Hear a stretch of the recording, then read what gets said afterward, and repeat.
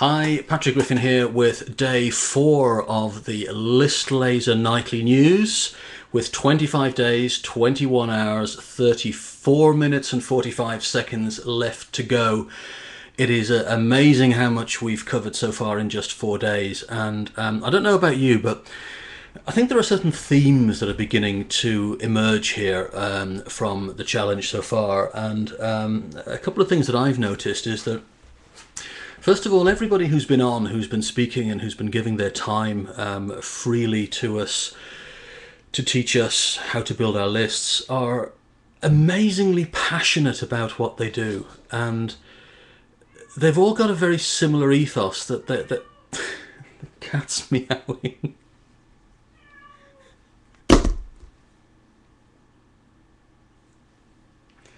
I'm trying to do a video here, Dixie.